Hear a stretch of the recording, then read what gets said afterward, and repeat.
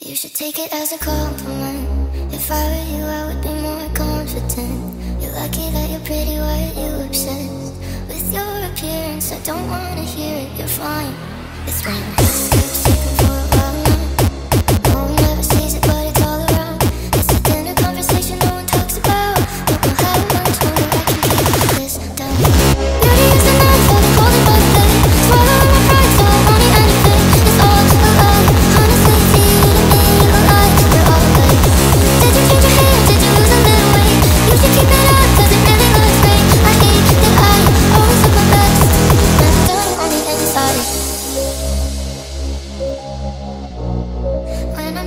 on the inside.